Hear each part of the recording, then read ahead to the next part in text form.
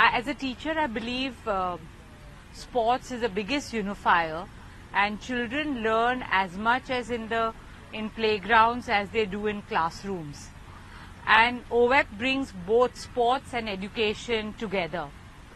With this partnership, uh, we hope to positively impact the 250 million school-going children of India, reaching out to the remotest villages and regions of India, uh, giving them options of a more disciplined, healthier, fitter and more ethical lifestyle.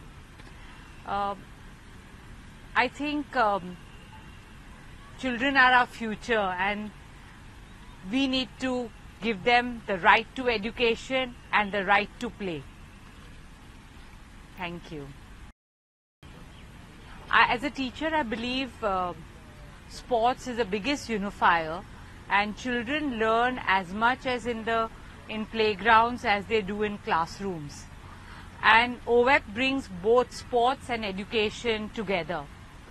With this partnership, uh, we hope to positively impact the 250 million school-going children of India, reaching out to the remotest villages and regions of India, uh, giving them options of a more disciplined, healthier, fitter and more ethical lifestyle.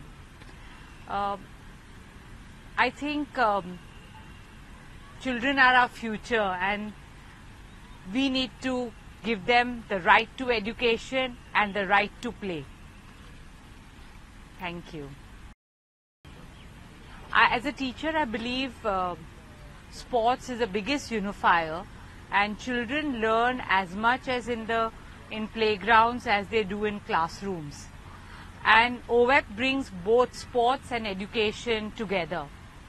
With this partnership, uh, we hope to positively impact the 250 million school-going children of India, reaching out to the remotest villages and regions of India, uh, giving them options of a more disciplined, healthier, fitter and more ethical lifestyle.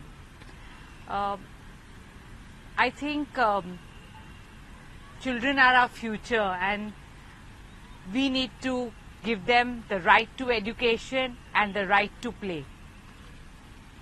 Thank you. I, as a teacher, I believe uh, sports is the biggest unifier and children learn as much as in the in playgrounds as they do in classrooms. And OVEP brings both sports and education together. With this partnership, uh, we hope to positively impact the 250 million school-going children of India, reaching out to the remotest villages and regions of India, uh, giving them options of a more disciplined, healthier, fitter and more ethical lifestyle. Uh, I think um, children are our future and we need to give them the right to education and the right to play. Thank you.